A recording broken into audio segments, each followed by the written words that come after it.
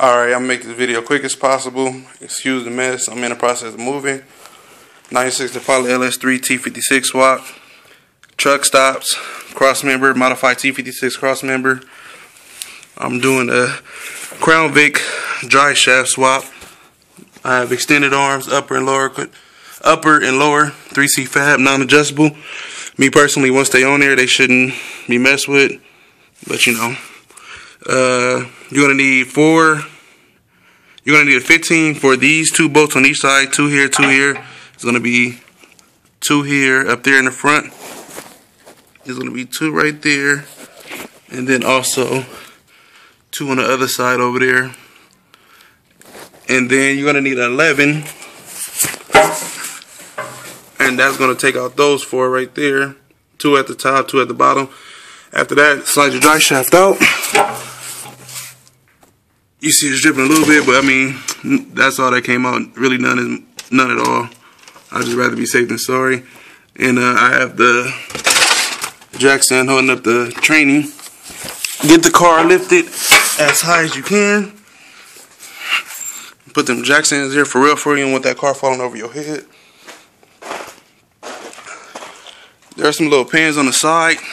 Before I even touch it, this is the dry shaft. This is the uh, Impala dry shaft, 2000 Crown Vic aluminum dry shaft, and then this is the difference on them as far as length goes from here to here. So it's make up that inch that you uh you know from the extended arms. You're gonna take your yoke off the LT tranny and put it on the Crown Vic you're gonna take your yoke off your uh, dry shaft, put it on the Crown Vic aluminum dry shaft, and then you're gonna need these. Uh, give me a quick second, if I can find them. You're gonna need the U joints. I don't know what the hell I did with them. The part numbers are 355. The part number are 355. You need two. It's a uh, one for the front, one for the rear snatch those out real quick. Here one right here.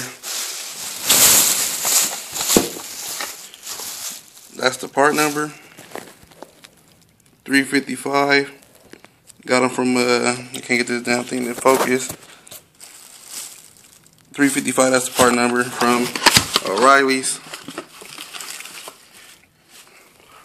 And then you just uh, slap one here. The way you snatch these out, there's some clamps in there. Just take a screwdriver, snatch the clamps out. These ones right here, you just, the new mug's pretty, you just snatch them off. And it'll fall off from the sides. Put one here. Put another here, take off that joint. The U-joint, put it on here, and then slap it back in. And I say you should get this uh, balance just to be on the safe side. And that's about it, so stay tuned.